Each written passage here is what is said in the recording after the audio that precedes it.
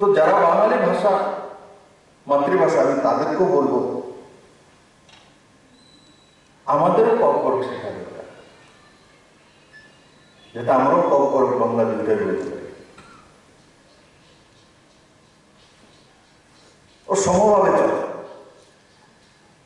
সম মানসিকতা নিয়ে চলে।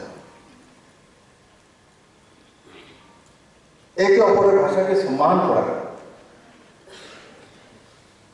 এটাই তো নিউ ডিরেকশন পলিসিতে এসছে। নাহলে আমরা আমাদের মাতৃভাষা হারিয়ে ফেলব।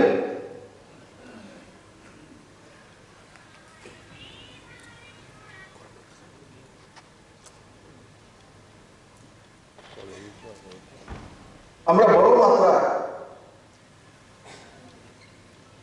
অফিসিয়াল ল্যাঙ্গুয়েজ আমরা ইংলিশ ব্যবহার করে থাকি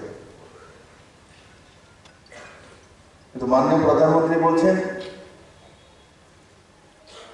হিন্দি, ইংলিশ, অন্যান্য ভাষা ভাষা, ভাষাভাষী সব বিষয় থাকবে।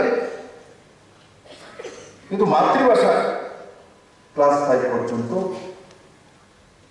অধিকার থাকা সেই ভাষা সে তার মনের ভাব যখন প্রকাশ করে, ও সেই ভাষায় যাতে তার মনের ভাব লিখতেও পারে